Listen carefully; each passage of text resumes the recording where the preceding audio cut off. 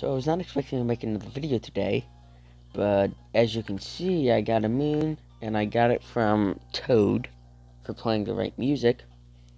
So, let's see what happens when you get more than more than 999 moons in Mario Odyssey. Does the counter change? Do you get anything special? No, you get literally nothing for getting nine more than a thousand moons. Funny little video I wanted to make. Bye. Don't forget to like, comment, subscribe.